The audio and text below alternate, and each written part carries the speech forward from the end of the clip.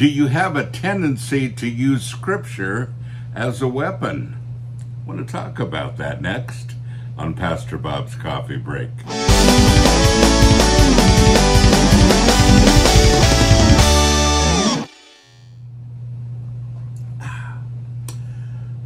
I see who I am, God sees who I am becoming. Such a great mug, one of our older ones, and uh, a steaming cup of hardcore coffee. It's one of our greatest coffee, uh, ground coffee blends. And uh, by the way, this is really smooth. Most of the time, you drink uh, really dark coffee and it's not very smooth. This is smooth, just saying. And uh, by the way, we have subscriptions now. If you forget to order, it'll be automatic. Just go to our site and get that and our mugs and all of our cool stuff. We are metalwearefamily.com. Dear Pastor Bob, should we use scripture to bash our spouse when they sin? Boy, there's a loaded question. It seems to happen sometimes in my marriage. We each will bring up specific scriptures that deal with each other's sins, and we beat each other down with what the Bible says. I know this probably isn't the proper way to use the Bible, so how do we overcome this? How do we share what God's Word says in love? I know the Bible says to do it, but it's much easier said than done. Is it a sin to share what the Bible says in an unworthy manner? Isn't that a great question? I love this one. And, you know, marriage is difficult at best. Just saying. And those of you that are married, you're going, mm hmm, mm hmm. It is.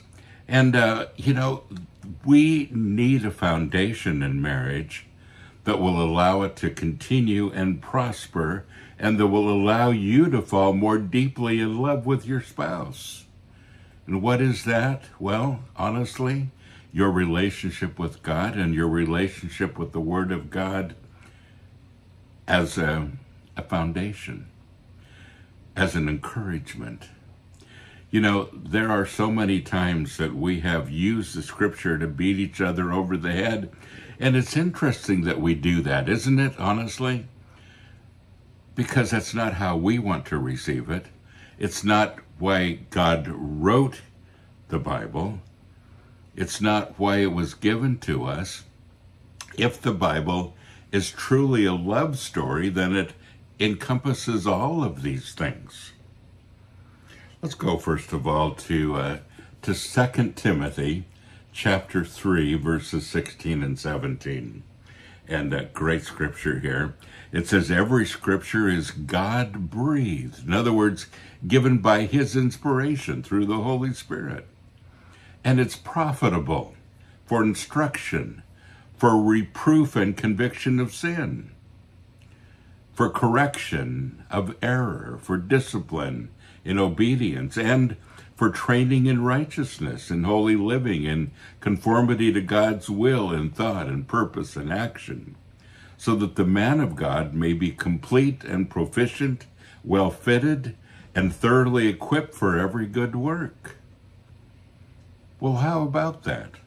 If you see your, your spouse sinning, shouldn't you just correct them with the Word of God? Well, here's what the Bible says. Well, no. There's a right time to say things, and there's a foundation to build upon. 1 Thessalonians 5:11 is the next scripture I want to go through. And it says, Therefore, encourage and edify, strengthen, build up one another, just as you are doing. In other words, do you see why this is important, folks? Because when you have this as a foundation, that you are there to love, to identify, to, or I, I, I, I, I Let me try that again. when you are there to edify, to love, and to strengthen the other person, to build them up, that everything that you do goes through that filter. You know, to love somebody isn't to do this all the time. Sometimes it's waiting for the right time to say something. And many times it's seeing that very same fault in ourselves. You know what I'm talking about, don't you? Many times we get the most upset about what somebody else is doing because it's actually something we're struggling with too. It's true. When I commit to living my life with another person in marriage, I make a huge commitment to build them up, to love them unconditionally, and to nurture them. Now, nurturing them is a whole different thing. Nurturing means love, unconditional love. Sometimes it's overlooking things for the time being. And a lot of times when we grab the word to beat somebody over the head with it, we're just looking for a really good excuse to tell them off, to beat them up, to make them feel bad. Is that what the Bible's for? Not at all. And you know, you could play this game all day long. We sin all the time. You could point out your your spouse's sins all day long and they could do the same with you and we could do the same with each other married or not. That isn't the point. The point is that we have a foundation where we all begin to learn together. And here's the most important piece of advice i have for you today. If you don't have a time when you are uh, actively engaged in the word of god and in prayer with your spouse, then you have no right to do this. You just don't. Because you build on this foundation. You know, this is the, the key.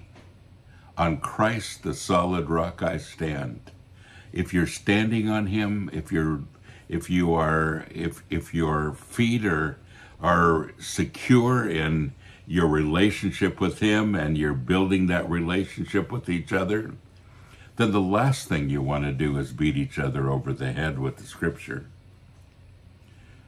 You know, I find that people that beat other people over the head with scripture are not spending any of their time in the word necessarily, especially with other people, nurturing other people with it. Because when you are used to nurturing with the word of God, it's really difficult to beat each other up over the head with it.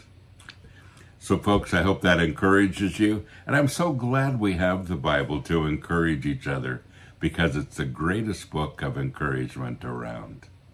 Don't forget, you are blessed. So go and be a blessing.